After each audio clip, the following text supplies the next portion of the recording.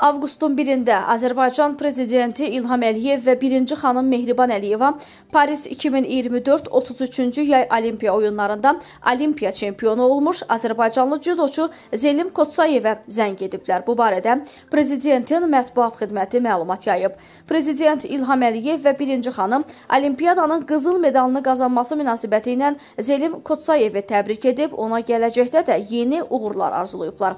Dövlət başçısı Azərbaycan idmançılarının Olimpiya oyunlarında judo idman növü üzrə ilk dəfə 2 Olimpiya qızıl medalını qazandıqlarını qeyd edərək bu münasibətlə təbriklərini eyni zamanda komandanın məşqçilərinə və Judo Federasiyasının rəhbərliyinə çatdırıb.